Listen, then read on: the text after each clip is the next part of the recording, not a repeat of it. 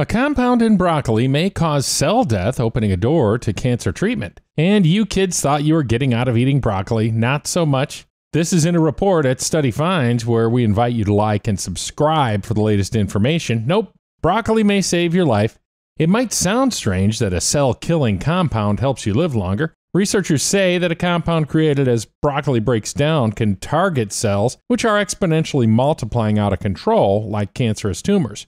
Researchers from Hiroshima University discovered that a molecule in broccoli and cabbage breaks down into the compound diindolylmethane, or DIM. Scientists believe the compound can induce tumor cell death in patients with breast, prostate, and colon cancer. The study found DIM triggers a process called apoptosis or cell death in fission yeast cells, also triggering the recycling of cellular components or autophagy. Researchers say several anti cancer drugs trigger apoptosis in order to destroy cancerous cells. If the team can control this programmable death, it may lead to a new breakthrough in cancer research. The study author also believes that DIM may even lead to longer lifespans if they can understand how it induces autophagy or the recycling of cellular components. Find more detail on this and other studies at studyfinds.com.